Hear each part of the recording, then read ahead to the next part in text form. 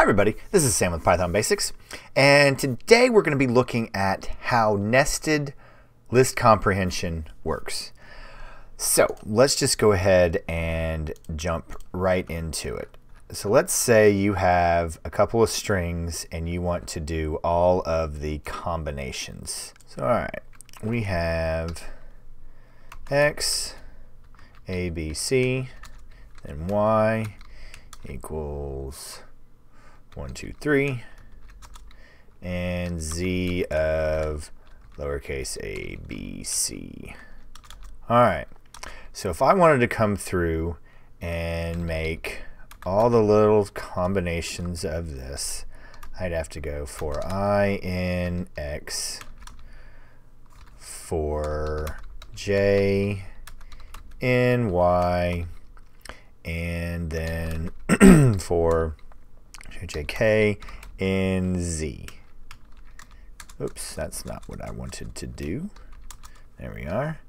So then I'd have to go take my append, then go i plus, let's read, make this Pythonic, plus j plus k. All right. Then print There we go. Now, how many different combinations are there? So I have 3, 3, 3. 3 times 3 times 3, or 3 to the power of 3. So I run this, and I get all of the combinations thereof. And this looks kind of janky. Or I could put this all on one line. And I know sometimes list comprehension can be overwhelming. So we're just going to go nice and slow.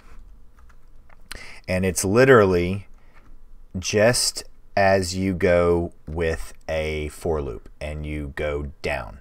So it's i for, well, we know we're going to have 3, so it's i plus j plus k plus k for i in x for J N Y and whoa, sorry, and for K N Z. That's literally it.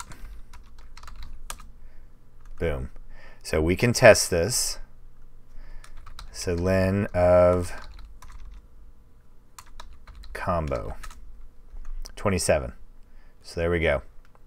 As you can see there, so we can also do it over here. I should have changed this, but let's change it out. And just literally, we'll copy this.